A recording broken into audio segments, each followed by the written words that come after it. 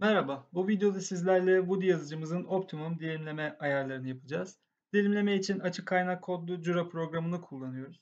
E, Jura programının kullanımı ve arayüz tanıtımı ile ilgili Jura dilimleme nasıl yapılır videomuza göz atabilirsiniz. Öncelikle yazıcımızın yazıcı özelliklerinin programa tanıtılmasıyla başlayabiliriz.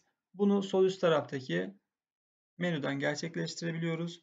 Üst taraftaki menüden yazıcı ekle bölümüne geldik ve buradan yazıcımızı kendi yazıcımızın özelliklerini girebileceğimiz custom seçeneğini aktif hale getiriyoruz ve buradan da kendi belirleyeceğimiz yazıcı ismini yazıyoruz. Buraya istediğimiz isim yazabiliriz. Sonrasında hatırlamamız önemli. Diğer yazıcılarla karışmaması için video olarak belirledim, ekledim Ardından gelen sayfa bize yazıcının özelliklerini soran sayfa ve burada da yazıcının işleme genişliğini belirlediğimiz değerler mevcut. Bu kısma bu yazıcının X işleme genişliği olan 170'i, Y kısmına da 160'ı, Z bölümüne ise 200 milimetreyi yazıyorum. Ardından şurada küçük bir müdahale gerçekleştirebiliriz daha hızlı bir sonuç alabilmek için. 15 yazan başlangıç yukarı kalkma mesafesini 0.3 olarak değiştiriyorum. Ve sonrasında bu sayfadaki işlemleri tamamlamış oluyoruz. Buradaki bölümlere herhangi bir müdahalede bulunmuyoruz. Sağ üst tarafta Extruder sekmesine tıkladıktan sonra nozülümüzün boyutunun çapının 0.4 olduğunu biliyoruz ve burada şöyle bir müdahale gerçekleştireceğiz. Filament çapımızın 1.75 olmasından dolayı buraya 1.75 yazıyor ve sonraki butonuna tıklıyoruz. Karşımıza Woody yazıcımızın işleme alanını temsil eden bir görüntü geldi. Bu alana baskılarımızı gerçekleştirebiliyoruz. E, bu baskıları gerçekleştirebilmek için aslında simülasyonda daha güzel bir sonuç almak için bir obje eklemekte fayda var. Onu da hemen şöyle bir obje taşıyalım. Böyle bir objenin baskısını alacağız ve bunun optimum ayarlarını beraber gerçekleştirelim. Ayarları sağ üst taraftaki menüden gerçekleştirebiliyoruz ve buradan açtığımız bölümden e, ince ayarlar yapmamız gerekiyor. Kaba ayarlardan ziyade ince ayarlar biraz daha efektif sonuçlar veriyor. Dolayısıyla burada özel bölümüne gelirsek daha ince, daha objeye göre ayarlar gerçekleştirebiliriz. E, burada küçük tiyolar veriyor olacağım. Özellikle kalite, yüzey kalitesi ile alakalı bölümlere dikkat edelim. Burada kalite sekmesinde 0.1 olarak düzenlenmiş burada ve buradaki iki değerin yani alt ve üst değerin 0.1 ve 0.3 arasında değişmesi gerektiğini söyleyebilirim. Yani kaba bir yüzey elde etmek istiyorsak 0.3'e kadar bu değeri gerçekleştirebiliriz, yazabiliriz. Daha ince bir, daha hassas bir yüzey e, oluşturmasını istiyorsak bu yazıcının baskı sırasında e, bu bölüme 0.1'e kadar yani 100 mikrona kadar e, değer verebiliyoruz. Ve dilimledikten sonra da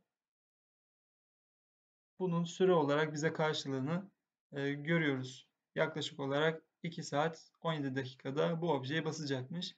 E, yüzey kalitesini artırmak her zaman zaman açısından dezavantaj sağlayacak bize. Onu da hemen bir görelim. Dilimleme işlemi gerçekleştiriliyor. 3 katman daha hassas olduğu için sürede yaklaşık olarak 3 kat daha fazla olacak. 6 saat 37 dakikada e, bu objenin baskısını alabiliyormuş. Bu şu demek oluyor. Hemen bir ön izleme yapabiliriz. Buradaki menüyü de kullanabiliriz. Buradan da gerçekleştirebiliriz. Ön izlemede bizim katmanlarımızı gö gösterecek program. Şöyle yaklaştığımızda her bir katmanın şuradaki her bir katmanın kalınlığının şu ayarladığımız değer olduğunu biliyoruz. Her bir katman 0,1 milimetre kalınlığındaymış. Yani bu milimetrenin onda biri kadar bir kalınlık ve bu kalınlıklar e, gözde e, çok fazla seçilemeyeceğini e, düşündüğümüz kalınlık değeri. Dolayısıyla gözde çok fazla seçilemeyen bu ince ayrıntılar bize yüzey kalitesi olarak geri dönüyor.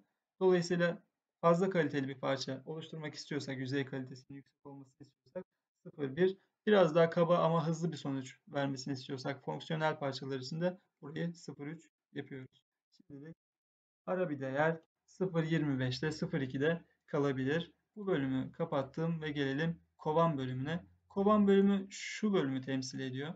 Bu objenin dış duvarlarının ne kadar kalın olacağı ile alakalı bir veri elde etmemizi sağlıyor. Şu simülasyonda yeşil ve kırmızı olarak gösterilen yerler kovanı temsil ediyordu. Bu bölümlere de 1.2 yazarsak daha kalın, e, daha korunaklı, dayanıklı bir yüzey elde etmiş olacağız. Ve alt ve üst kalınlığı da aynı şekilde 1.2 ile değiştiriyoruz. Gelelim dolgu biçimimize. Kullandığımız objeye göre dolgu oranı değişiyordu. Ve siz sağlam bir parça istiyorsanız burayı daha yüksek derecede dolgu yapmanız gerekiyor. Ve biraz daha dış görünüşünün önemli olduğunu ve güç harcamayacağınızı yani bu parçanın herhangi bir zorlamayla karşılaşmayacağını öngörüyorsanız e, bu doluluk oranını 20'lere kadar 10'lara kadar düşürebiliyorduk.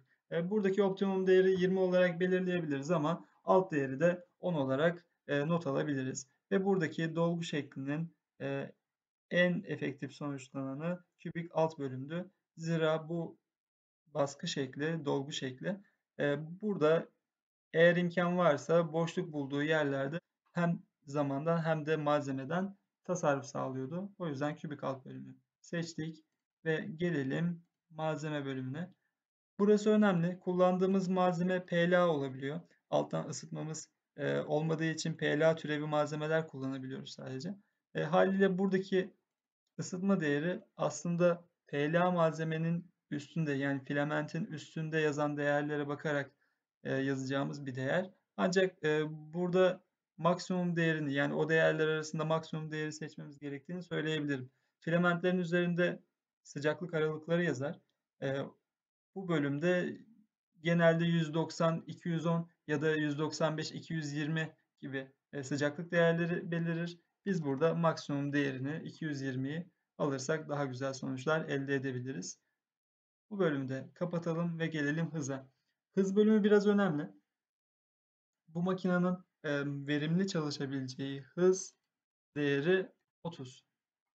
30 mm bölü saniyede güzel sonuçlar, garanti sonuçlar alabiliyorsunuz. Ancak biraz daha hızlı çalışmasını istiyorsak eğer ve e, parçanın nispeten diğer ayrıntılı parçalara göre daha ayrıntısız, daha kolay bir parça olduğunu düşünüyorsanız bu bölümü 45 mm bölü saniyeye kadar çıkartabiliyorsunuz. Hareket hızını 130 mm bölü saniye kadar yapabiliriz ve ilk katman hızı hassas işlenmesi gereken bölümü temsil ediyor ve buradaki hızımızı nispeten diğerlerine göre yavaş yapmamız gerekiyor ki baskının temelinin sağlam olmasını, zemine sağlam bir şekilde tutunmasını ve baskı sonrası e, baskının ilerleyen aşamalarında e, problem yaşamamayı garantileyebilelim. O yüzden bu bölüm 13'te kalabilir. Eğer istiyorsak e, baskı durumuna göre biraz daha artırabiliriz. 15-18'lere kadar çıkartabiliriz. Genel olarak yazdırma hızının yarısı olarak öngörüdür ama yavaş yapmakta her zaman fayda var diyebilirim. Hareket bölümünde Z sıçramayı aktif hale getirir isek e, üzerinde bu geçişler sırasında püsküller oluşmasını engelleyebiliriz ve bu mesafeyi hatta biraz daha artırabiliyoruz. 1.5 haline getirelim. Bu seçenek karşınıza gelmiyorsa ya da önceki bölümlerdeki seçenekler karşınıza gelmiyorsa şu ekstra menülerden daha ince ayarları seçip burada gözükmesini sağlayabiliyorduk. Bu bölümde kapatalım. Gelelim soğumaya. Soğuma PLA malzemesi için aktif hale halde olması gerekiyordu. Çünkü PLA soğutmayı seven bir filament türüdür. Gelelim destek bölümüne. Destek önemli bir bölüm. Objenin ilk görüntüsünde destek isteyen yerleri görebiliyoruz. Şu bölümler kırmızı ile gösterilen bölümler destek isteyen bölümler. Yani altında herhangi bir katman olmayıp sarkma ihtimali buralardan filamentin sarkma ihtimali olan bölümlerde. Dolayısıyla bu gibi objelerde destek bölümünü aktif hale getiriyoruz ve her bölümü seçmemizde fayda var. Bu hem zeminden itibaren destek isteyen hatlarda hem de objenin kendi içinde bir delik vesaire bir şey varsa bu bölümlerde desteği sağlayabilen bölüm.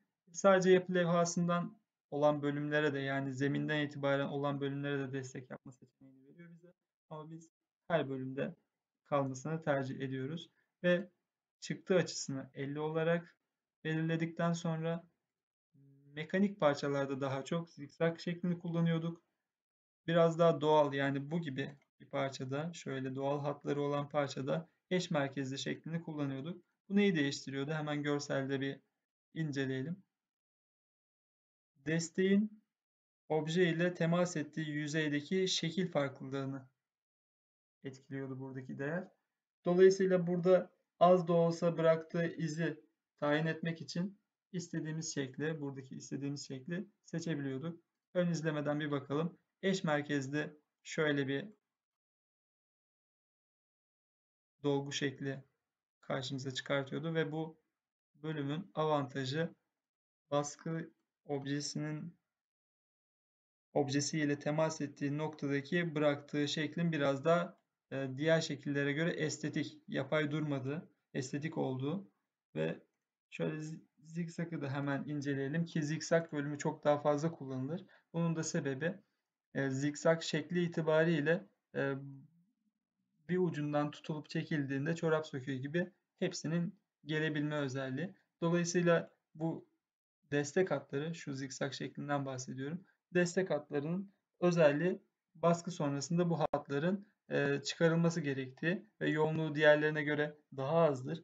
Ve bu bölümü kolay bir şekilde çıkartabilmek için genellikle zikzak şekli kullanılır ama baskı yüzey kalitesi bizim için önemli ise buradaki yüzey seçeneklerinden herhangi birini seçebiliriz. E, baskı objemizin şekline göre. Bu bölümü de kapatalım ve gelelim yapı levhasına yapıştırma seçeneklerine. Şu alt taraftaki bölüm dikkatimizi çekmiştir. Bu kenarı temsil eden bölüm. Yani baskı başlar başlamaz ilk katmanda zemine temas edebilmesi için yazılımsal olarak destekler yapabiliyoruz. Ne demek istiyoruz? Zemine temas ettiği yüzeyi artırabilmek için şöyle ekstra destek hatları, şu maviyle gösterilen bölüm destek hatlarını temsil ediyor. Destek hatları koyuyor bu sayede dilimleme programı. Eğer kenar seçili ise bu bölümde fazlasıyla yüzey alanını genişletiyor ki daha fazla zemine tutunabilsin. Bu genişliği aslında şuradaki ince ayarlardan tayin edebiliyoruz. Daha geniş ya da daha dar destekler koyabiliyoruz. Bunun yanı sıra radyeye de bir göz atalım. Radye baskı objesinin altında birkaç katmandan oluşan bir tablo oluşturuyor ve bu aslında baskı objesinin zemine temas ettiği noktaların e, standartizasyonunu yani stabilitesini e, sağlıyor. Ne demek istiyorum? Şu alt katmandan bahsediyorum. Bu alt katman tamamen bir destek hattı. E, yazıcı işlemini tamamladıktan sonra kullanımı olmayacak bir hat ve sonrasında 6. bakalım şöyle 6. hatta 7.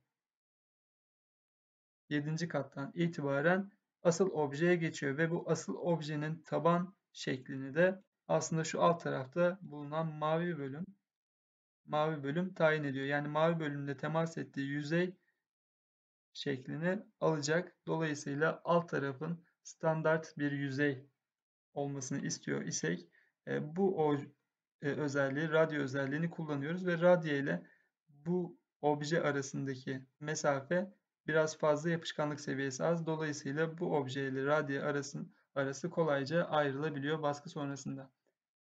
Bir de eteği inceleyelim. Etekte baskı başlamadan önce objenin etrafında bir çerçeve, offset çerçeve oluşturuyor. Bu aslında kullanışlı bir özellik. Neden? Baskı başlangıcında şöyle başlatalım. Baskı başlangıcında baskıyı nereye yapacağını bize gösteriyor. Hem burada baskının istediğimiz yerde gerçekleşip gerçekleşmeyeceğini kontrol ediyoruz. Ve bunun yanı sıra başlangıç pozisyonundan bu bölüme gelene kadar nozulün ucunda bulunan herhangi bir pislik vesaire bir şey olması durumunda bu pislikleri ya da e, ucundan kaçırdığı filamentleri, yer çekimi etkisiyle düşürdüğü filamentleri bu etrafında ne yapıyordu? Harcıyordu ve asıl objeye geçtiğinde yani şu yeşil bölüme geçtiğinde temiz filamenti buraya, kullanışlı filamenti buraya aktaracaktı. Dolayısıyla etek seçeneği biraz daha kullanışlı bu bölümde ve bu bölümde bu şekilde tamamlamış oluyoruz. Ve sonrasında dilimlemeyi gerçekleştirdik. Şu dilimlenmiş hali. Ardından kayıt düğmesinden dosyayı kaydedebiliyoruz. SD kartı taktığımızda burada harici diske kaydet seçeneği de çıkıyor. Ve sol alt taraftan da baskımızın ismini verebiliyorduk. Anlatacaklarım bu kadar. Teşekkür ederim dinlediğiniz için. Hoşçakalın, iyi çalışmalar diliyorum.